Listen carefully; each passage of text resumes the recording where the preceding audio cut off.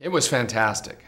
You know that at the time, Universal Studios was a was a machine, a complete um, a complete factory of uh, of, of production. There were Columbo and Banacek and, and Emergency and and uh, you know I just went on and on and on.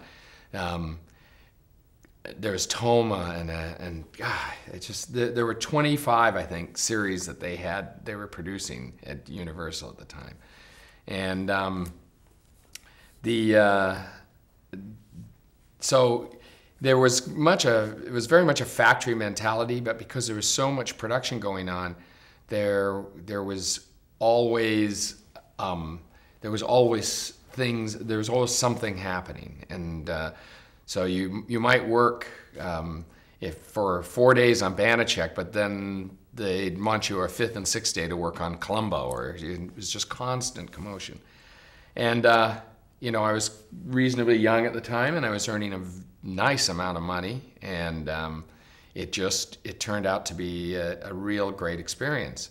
I was a lamp operator, you know, setting up the lamps, running the cable, you know, and doing that so I was working in the, the lighting department, and um, uh, yeah, I was I was a, a, lamp operator, electrician they call them, juicers actually is what they call them. Um, but you know, it, there is a problem for me with that kind of production, in that it's um, it's kind of schizophrenic in that there's an intense amount of activity and work and then it stops. And for take after take after take after take, not very much happens.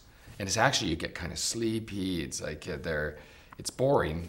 Um, the, you know, obviously the, the director and the cinematographer and the camera operator and the script girl are doing something. But besides that, there's everyone else is just kind of hanging out, waiting for the next setup. And um, so I, I was, I found the the the process to be cumbersome.